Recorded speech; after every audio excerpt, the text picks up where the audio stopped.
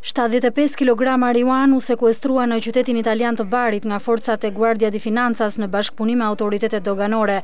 Sasia e lëndës narkotike ishte paketuar në tetëdhjetë e dy pako dhe ishte fshehur në pjesët e brendshme të dyerve të përparme të një automjeti me targa italiane që kishte mbërritur nga një anije që vinte nga Shqipëria.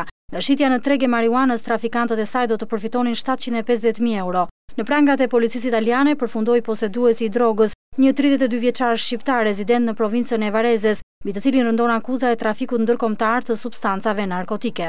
Sekuestrimi i sasisë së marijuanës pason një tjetër operacion të kryer pak ditë më parë nga të njëjtat forca në Bari që çoi në sekuestrimin e njëqind e pesëdhjetë kilogramëve marijuanë që vinte sërish nga Shqipëria e ambalazhuar në shtatëdhjetë e një pako dhe e fshehur në pjesën e sipërme të një automjeti me targa shqiptare. Korrieri i drogës, një dyzet e gjashtë vjeçar shqiptar u arrestua gjatë aksionit, Shitja e marijuanës do t'u siguronte trafikantëve mbi pesëqind mijë euro fitim.